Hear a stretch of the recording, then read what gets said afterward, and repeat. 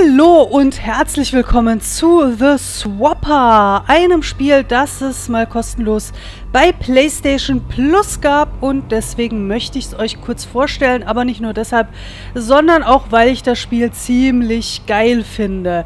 Wir gucken erstmal ganz kurz hier in die Optionen rein, Lautstärke stimmt, rechter Stick lasse ich mal die Empfindlichkeit, Untertitel sind an, Helligkeit habe ich ein bisschen mit raufgenommen, ach eigentlich wollte ich es auf na, auf 10 machen. So ein bisschen heller, weil das Spiel ist schon ziemlich dunkel, damit ihr auf YouTube überhaupt was erkennt. Ist es vielleicht nicht verkehrt, das ein bisschen heller zu machen. Ja, dann starten wir einfach mal. Es ist ein Puzzlespiel, sage ich jetzt mal. Ihr werdet gleich sehen, worum es genau geht. Ich starte das Ganze mal und dann schauen wir uns das mal an.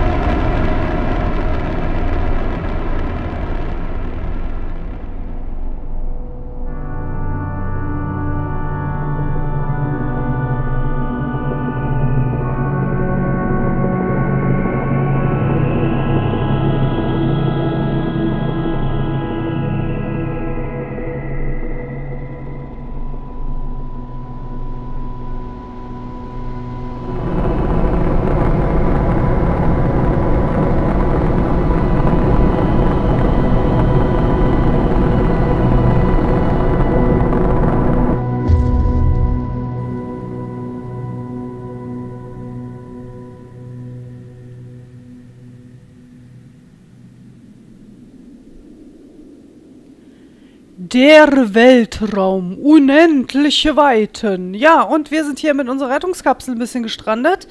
Und wir können mit L natürlich laufen. Wie man sieht, es ist ein Sidescroller. Und X springen und X halten, damit wir ein bisschen höher springen. Mit R können wir uns auch hier umsehen. Man sieht hier den, den weißen Punkt. Hoffe ich zumindest, dass man ihn sieht. Damit können wir uns umschauen.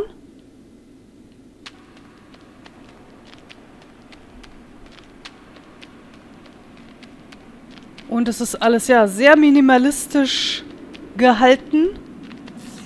Hier in diesen Lichtkegeln wird gespeichert und hier können wir mit Viereck den Aufzug rufen.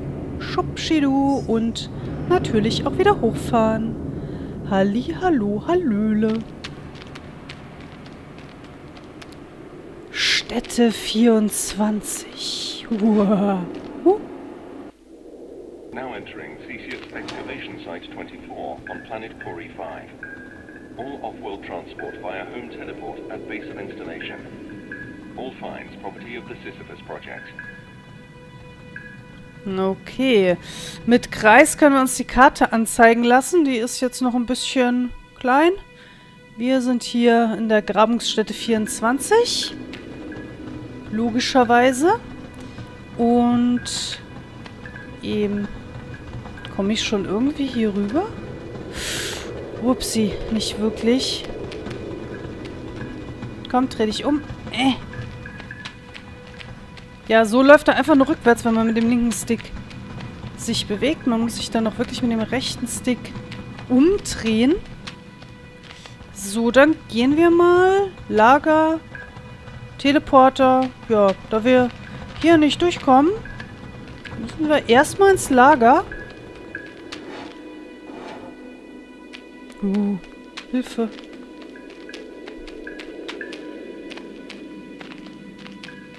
Haha. Und wir haben den namensgebenden... Äh, Swapper quasi, also dieses Gerät. Und wir können in einem Freiraum L1 oder 2 gedrückt halten. Und dann sehen wir hier dieses Ding. Und wenn wir dann loslassen, haben wir eine Kopie von uns erstellt, die sich genauso bewegt, wie wir das auch tun. Und das ist eigentlich das Spielprinzip. Wir erstellen Kopien von uns, bis zu vier Kopien. Wie man sieht, wir haben jetzt noch drei verfügbar. Können wir alle erstellen. Zack, und die bewegen sich genau wie wir. Und damit müssen wir eben Rätsel knacken. Und das wird noch verdammt lustig. So.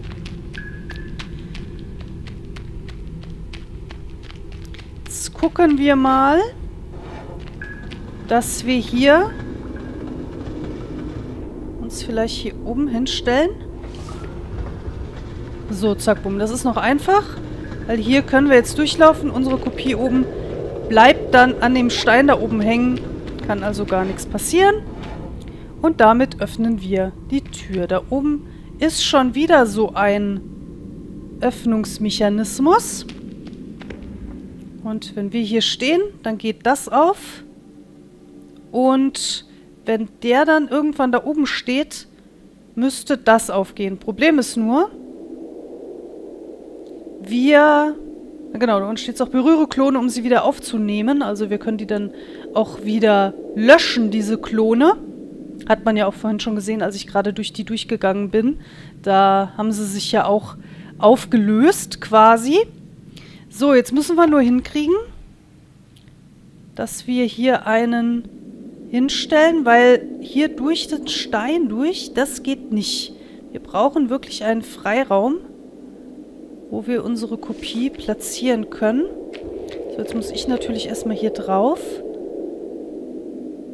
Dann hoffe ich mal, dass er hier ganz schnell weiterlaufen kann. So. Und zack.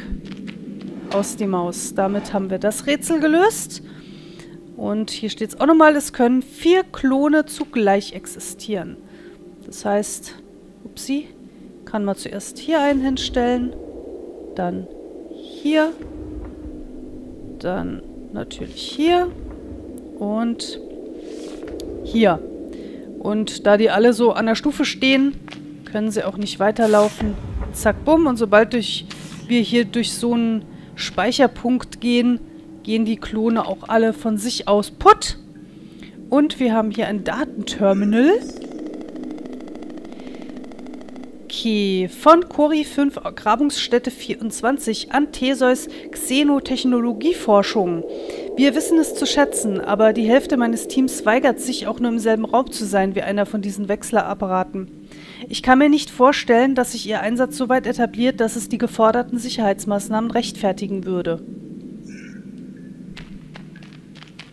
Radio uplink available. Broadcast location, Mind Science Laboratory. Space Station Theseus. What you're telling me isn't possible. Tell me who I just ejected into space. Ja, mich wahrscheinlich. Nee, keine Ahnung. So, ganze Karte anzeigen. Wir sind hier und die grünen ja, Punkte sind dann wohl die Türen, hoffe ich zumindest mal.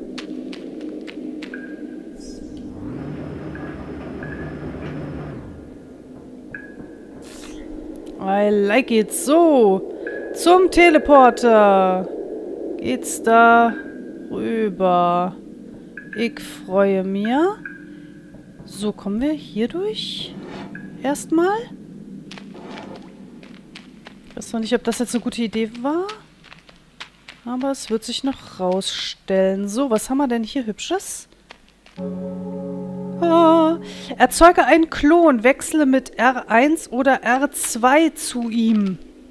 Das ist nämlich ganz praktisch, weil hier kommen wir nämlich, selbst mit einem ach, großen Sprung, kommen wir hier nicht mehr raus.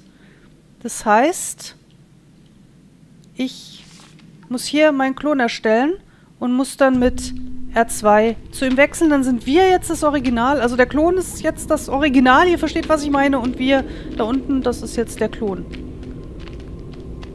Und wir laufen einfach weiter. Und die Funktion brauchen wir jetzt auch, um uns hier rüber zu flitschen, weil springen geht da einfach nicht. Da kann unser Klon sterben und wir laufen weiter.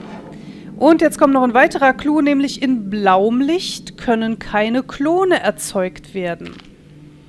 Und da oben haben wir jetzt so blaues Licht. Also ich kann jetzt hier keinen Klon erzeugen. Eh. Aber wenn hier jemand drauf steht, dann wird zumindest das Licht etwas minimiert. Das heißt, ich stelle hier jetzt einfach mal einen Klon von mir drauf. Und dann einen Klon hier drauf. Und wir können durch.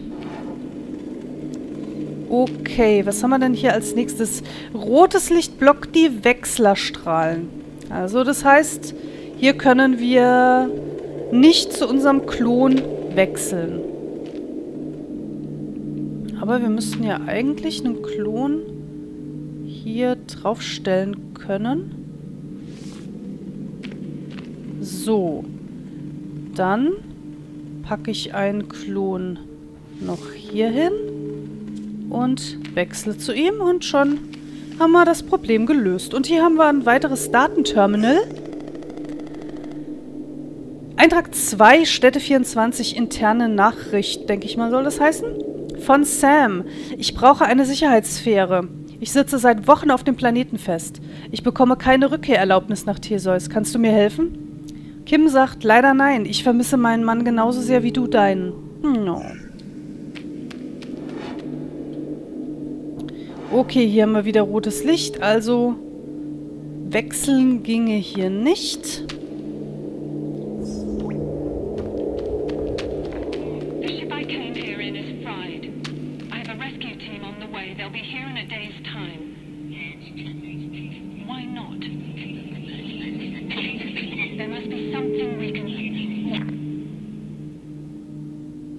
anscheinend ist, gibt es da nichts, was du da tun kannst.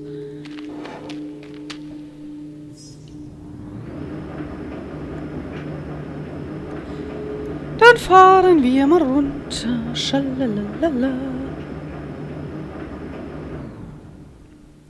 So, wir haben jetzt hier die Grabungsstätte. Da geht es hier weiter. Und hier ging es weiter zum Teleporter. Der ist hier. Teleporter offline. Natürlich, wäre ja auch zu einfach gewesen. Eine weitere Chiffriersphäre für Zugriff auf Teleporter-Konsole benötigt. Groovy. So, hier ist also der Teleporter. Und da brauchen wir so eine Chiffriersphäre.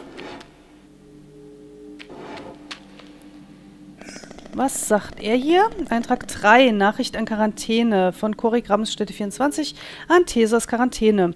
Wir brauchen hier unten eine schnellere Ablösung. Der letzte Schichtwechsel hätte vor sechs Stunden stattfinden sollen. Stattdessen soll das Team noch mehr Gesteinsproben hochschicken. Alle sind müde. Bitte um Anweisungen. Ja, ich bin auch müde.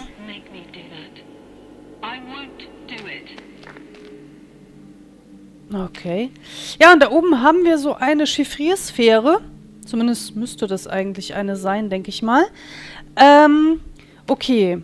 Let me think, let me think. Ich muss mal gerade gucken. Das dürfte eigentlich gehen. So, ich bleibe jetzt mal hier stehen. Dann mache ich mir Schubdi Heidi. Ich brauche erstmal na, ist eigentlich Latte. Ich kann mir erstmal... Oh, das ist logischerweise... Ich brauche hier einen Klon. Da muss ich zu dem wechseln. Muss da oben einen Klon erschaffen. Und ich brauche natürlich hier noch einen Klon, damit ich wechseln kann. Jetzt lass mich überlegen. Ich müsste jetzt erstmal... Weil dann muss ich mit dem nach links laufen. Na, ist eigentlich Latte. Ich kann jetzt erstmal hier den Klon erstellen. Wir drehen uns mal um. Nee, ist nicht Latte. Moment. Dann wechsle ich erstmal zu dem hier. Dann mache ich mir hier noch einen Klon. Der Klon kann diese Sphäre nicht aufnehmen. Das ist das Problem quasi. Dann switche ich mal zu dem rüber. Dann switche ich hier hin. So, dann können wir nämlich rüberlaufen, ohne dass der da oben runterfällt. Ah, nee. Dann müssen wir... Ach, scheiße. Nee, das war blöd. Weil jetzt muss ich wieder zu ihm hier switchen. Und der da oben fällt jetzt runter. Crap. Nee, das war doof. Moment.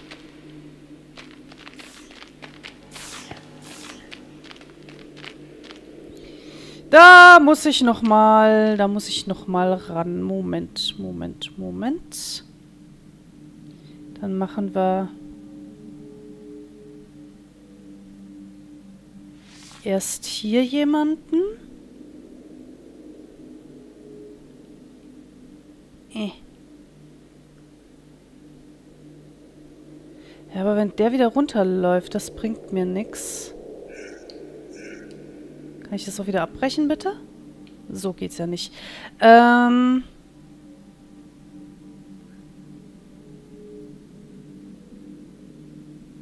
Weil sobald ich wieder nach rechts laufe, fällt ja der da oben runter. Also müsste ich quasi doch erstmal hier einen erstellen. Moment. Moment, machen wir, machen wir ganz anders. Ähm, erstmal hier einen erstellen. Der läuft rüber. So, dann kann ich mir hier einen erstellen. Switche zu ihm rüber. Ja, so geht's. Dann hier. Switch. Hab sie eingesammelt. Eine Monogonsphäre. Haben wir jetzt eingesammelt.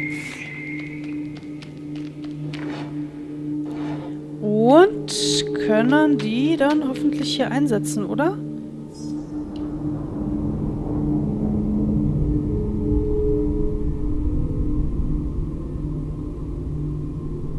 Uh.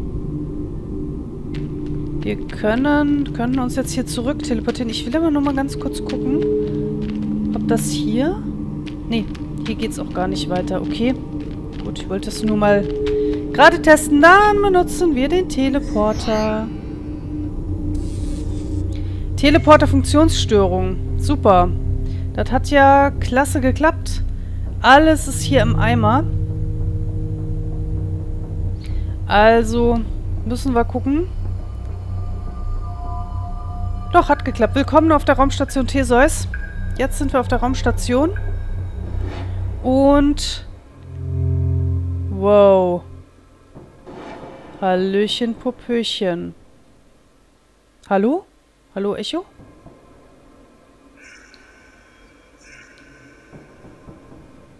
Spricht der Stein mit uns? Man weiß es nicht. Keine Ahnung. Und da oben ist anscheinend ein weiterer Teleporter, zu dem wir hin müssen. Und ja, wir müssen hier immer wieder kleine Kopfnüsse knacken. Sektor 2 Forschung. Also ich finde es wirklich ein sehr, sehr cooles Spiel. Und stellenweise wirklich nicht einfach. Das geht schon manchmal ganz schön auf die auf den Kopf. Und aber ich denke mal, man hat so ungefähr verstanden, worum es hier geht. Ähm, ich weiß jetzt nicht, ob hier noch mehr Möglichkeiten dazu kommen, diesen Swapper quasi zu benutzen. Aber ich denke mal, um einen ersten Eindruck davon zu bekommen, was man hier so treibt, was man hier so macht, was unsere Aufgaben sind, dürfte das jetzt eigentlich vom Prinzip her reichen. Hups, die Grenzen der Sprache sind die Grenzen der Erkenntnis. Unser Name war ihnen unbekannt. Sie nannten uns Wächter. Und ich finde, die Story kann auch noch ganz interessant werden. Und naja, typischerweise können wir hier auch Sachen verschieben und so weiter. Also ich finde es wirklich ein sehr, sehr cooles Spiel mit super Ideen und ja, auch nicht ganz ohne, was eben das Gehirnschmalz angeht. Ich kann es auf jeden Fall jedem nur empfehlen. Und ja, bin mal gespannt, was ihr so davon haltet. Ob ihr sagt, ja, das wäre was für mich. Oder ob ihr sagt, nee, lass mal. Das ist mir ein bisschen zu viel Gehirnschmalz. Ich würde mich auf jeden Fall hier mal verabschieden. Und ja, wir sehen uns dann zwar nicht mehr oder nicht bei The Swapper wieder, aber bestimmt bei einem anderen Spiel äh, in der 1 Plus Reihe. Ich sag dann mal Tschüss, bis zum nächsten Mal. Bis denne dann. Bye bye.